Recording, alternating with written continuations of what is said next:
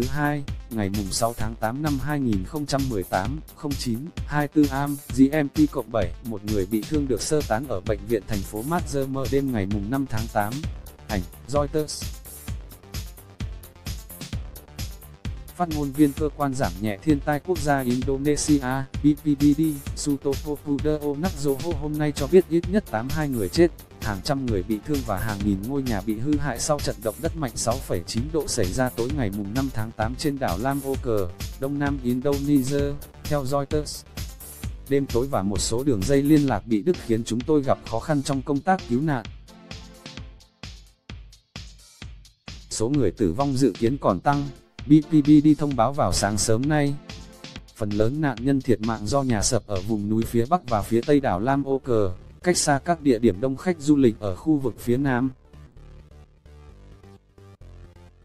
Hàng nghìn người cũng phải sơ tán sau trận động đất. Cục Khảo sát Địa chất Mỹ USGS cho biết tâm chấn nằm cách mặt đất 10,5 km.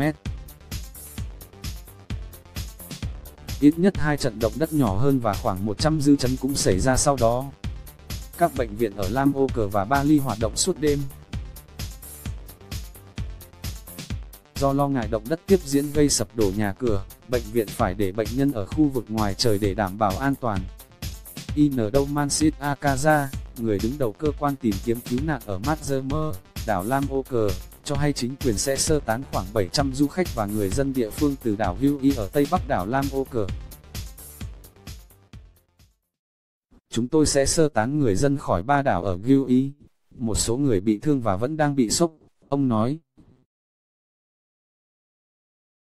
Saffron Amis, một sinh viên người Anh đang du lịch ở Gui, cho hay hàng chục du khách đã được sơ tán đến một ngọn đồi sau động đất. Phần lớn đảo Lam Ô Cờ bị cắt điện.